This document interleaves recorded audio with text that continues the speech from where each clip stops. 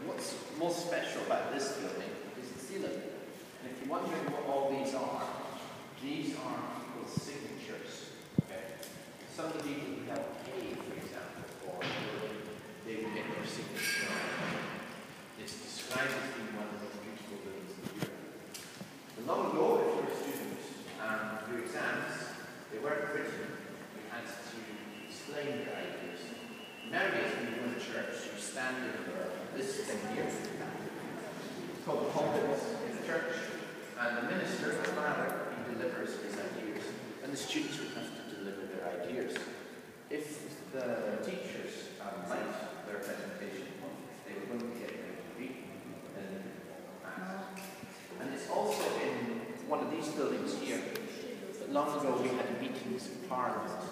As if London had a plague or some illness, they would occasionally come here to have meetings in Parliament.